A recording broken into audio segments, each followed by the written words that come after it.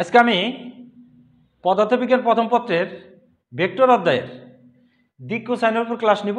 সুপ্রিয় শিক্ষার্থীবৃন্দ, দেখো, এখানে আমি একটা ত্রিমাত্রিক স্থানাঙ্ক ব্যবস্থা অঙ্কন করছি। একটা হলো এক্স আর একটা ওয়াই আর একটা জেড তিনটা অঙ্ক পরস্পরের সাথে কীভাবে থাকে? লম্বভাবে থাকে। অর্থাৎ এভাবে থাকে। একটা সাইড আমাদের বাদ দিতে হয় এক্সের সাথে ওয়াই লম্ব ওয়াইয়ের সাথে জেটের লম্ব জেটের সাথে এক্স লম্ব। একটা সাইড বাদ। তার মানে এটার সাথে এটা নব্বই ডিগ্রি, এটার সাথে এটা নব্বই, এটার সাথে আমার নব্বই। অর্থাৎ এখানে দিকে দেখো এক্স ওয়াই নব্বই ওয়াই জেড নব্বই এক্স জেড নব্বই।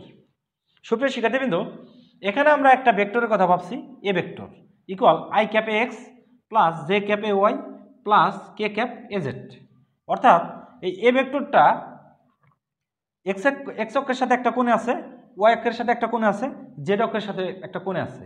অথবা আমরা এভাবেও বলতে পারি, এ ভেক্টরটার এক্স অক্ষ বরাবর একটা মান আছে ওয়াই অক্ষ বরাবর একটা মান আছে জেড অক্ষ বর- বরাবর একটা মান আছে। অথবা আমি এভাবেও বলতে পারি এই এ ভেক্টরটার একটা অবস্থান ভেক্টর আছে, সেই অবস্থান ভেক্টরটা হচ্ছে হলো আমার ত্রিমাত্রিক।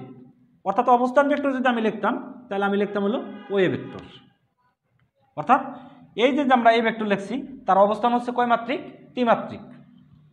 এখন আসো, আমরা আরও কিছু জানি যে এক অক্ষ বরাবর একটা আয়তক ভেক্টর কাজ করে, সেটা জানি আমরা হলো আই ক্যাপ ওয়াই বরাবর একটা আয়তক ভেক্টর কাজ করে, সেটা হলো আমার জে ক্যাপ জেড অক্ষ বরাবর একটা আয়তক ভেক্টর কাজ করে, সেটা হলো আমাদের কে ক্যাপ এখন ধরে নাও এই এ ভেক্টরটা এইভাবে আছে। কীভাবে আছে? এভাবে আছে। তাহলে দেখো এক্স অক্ষের সাথে তার একটা কোণ আছে ওয়াই অক্ষের সাথে তার একটা কোণ আছে জেড অক্ষের সাথে তার একটা কোণ আছে।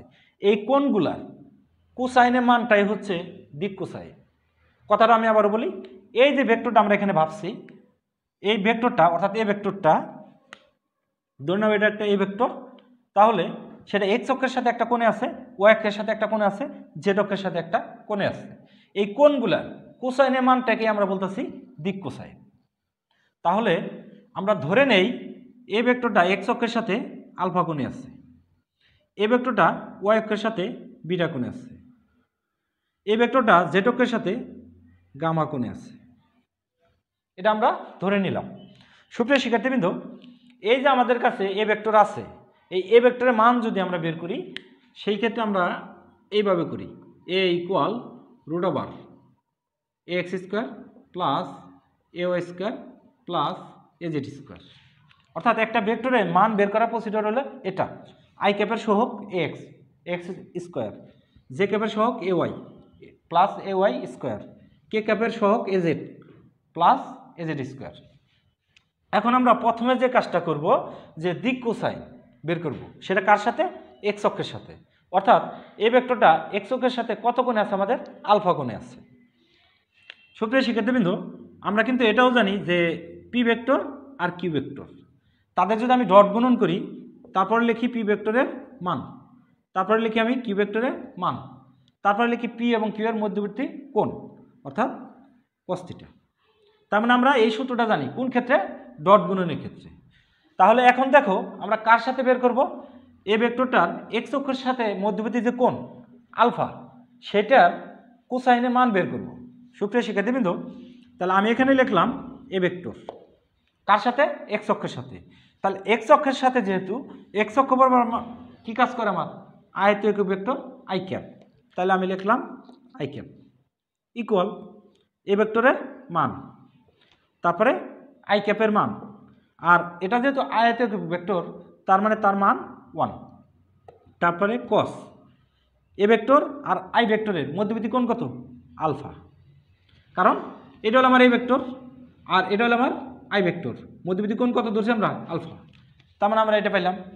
তাহলে এখানে থেকে একটা জিনিস দেখো যে এ ভেক্টর ডট আই তাহলে এ ভেক্টর ইকুয়াল আমরা কত জানি? এটা বসিয়ে দিই। I vector x plus j cap a y plus k cap a z সাথে কত আছে আমাদের dot i equal a cos alpha সুপ্রিয় শিক্ষার্থীবৃন্দ এইটার সাথে আইটা কি, কী আকার আছে? ডট গুণন আকার আছে। তাহলে এই ক্ষেত্রে আমরা কি করতে পারি সেটা দেখো।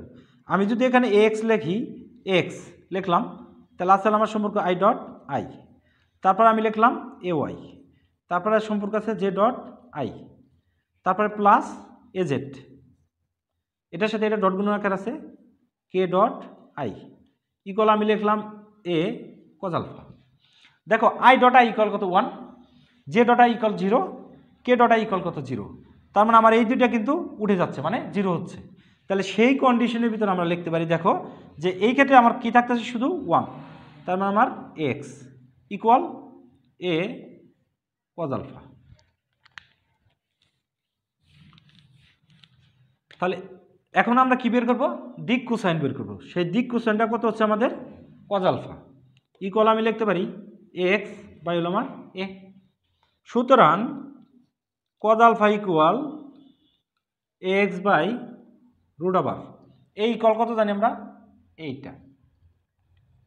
X square plus a y square plus a z square. তার মানে এখানে থেকে আমরা এ ভেক্টরের এক্স অক্ষের সাথে যে দিক cosine cos alpha equal a x by root over এটা পাইলাম আমরা।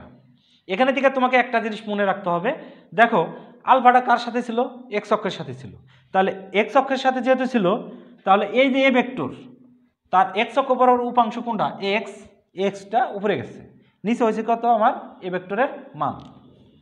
ঠিক সেমভাবে এখন আমি যদি তোমাকে বলি যে ওয়াই অক্ষের সাথে যে কোন উৎপন্ন করছে, সেটা কত? বিটা। তার দিক কোসাইন যদি আমি বের করি কস বিটা। তাহলে নিচে হবে কি আমার? এ ভেক্টরের মান। তাহলে আমি লিখলাম x square plus a y square plus a z square বিটাটা কার সাথে ছিল? ওয়াই অক্ষের সাথে। তাহলে এ ভেক্টরের ওয়াই অক্ষ বরাবর যে উপাংশ, সেটা কত আমার? এ ওয়াই তাহলে আমি বলতে পারি এ ওয়াই। এখন আবার আসো যে এ ভেক্টরটা জেড অক্ষের সাথে কত কোণ আছে? গামা কোণে তাহলে আমি লিখলাম কস গামা। কী লিখছি আমি? Cos gamma. তাহলে এখানে থেকে দেখো কার সাথে আমরা ধরছি? জেড অক্ষের সাথে। তাহলে স্বভাবতই আমার উপরে যাবে কি? জেড অক্ষ বরাবর এ ভেক্টরের রূপাংশ। সেটা কত আমি জানি? এজেড তাহলে আমি লিখলাম এজেড নিচে আসতে হলো আমার a x square plus a y square plus a z square তার মানে দেখো, এই যে যে আমরা দিক কোসাইনগুলো বের করলাম, সেটা এ ভেক্টরটা এক্স অক্ষের সাথে কত কোণে আছে? ওয়াই অক্ষের সাথে কত কোণ আছে? জেড অক্ষের সাথে কত কোণ আছে? এখন আমরা একটা ম্যাথ করব।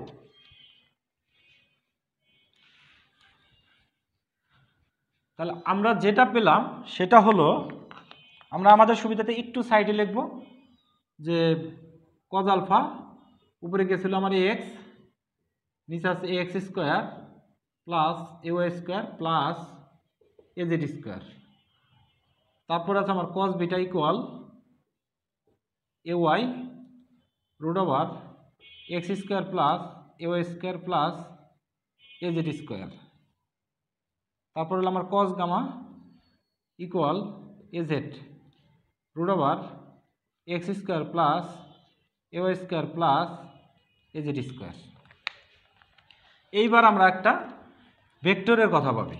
যে কোনো একটা ভেক্টর আমরা ভাবতে পারি, সেটা দেখে আমরা কোন ভেক্টরটা ভাবতে পারি? আমরা ধরে নিলাম r vector equal five i cap minus two j cap minus c k cap অর্থাৎ এই ভেক্টরটাই এক্স অক্ষ ওয়াই অক্ষ জেড অক্ষের সাথে যতক্ষণে আলফা বিটা গামাকন উৎপন্ন করে। অর্থাৎ আগে কিছুদিন আগে আমরা যেটা দেখছি, সেটাই। একটা ভেক্টর কল্পনা করছি আর ভেক্টর সেটাই এক্স অক্ষ ওয়াই অক্ষ জেড অক্ষের সাথে আলফা বিটা গামাকন উৎপন্ন করে। আমরা এই কোণের মানগুলো বের করব। কি করব আমরা? এই কোণের মানগুলো বের করব। দেখো, এই কোণের মানগুলো যদি আমি বের করি, সেটা সূত্রগুলো কিন্তু আমরা বের করে নিছি। তাহলে এক্স অক্ষের সাথে সে কত কোণ উৎপন্ন করতেছে? আলফা তাহলে আমি লিখলাম কজ আলফা দিলাম আমি। নিচে আসবে কত? ভেক্টরটার মান। তাহলে আমি দিলাম এখানে রুট ওভার এখানে কত আছে আমার? ফাইভ তাহলে আমার ফাইভ স্কোয়ার তারপরে আছে মাইনাস টু তার মানে আমার minus two square minus six minus six square এখন উপরে যাবে কি আমার? এই ভেক্টরটার এক্স অক্ষ বরাবর উপাংশ। সেটা কত আমার? ফাইভ তাহলে আমি লিখলাম ফাইভ তাহলে এখানে থেকে দেখো আমরা কি করতে পারি? কদালফা এখানে আসতেছে আমার ফাইভ নিচে আসতেছে হলো আমার টোয়েন্টি ফাইভ এখানে আসলে আমার twenty five plus four plus thirty six তাহলে এখন আমরা কি করতে পারি? দেখো cos alpha equal five by forty sixty five root over sixty five তাহলে এখানে থেকে আমাদের টার্গেট কি? আলফার মান বের করা।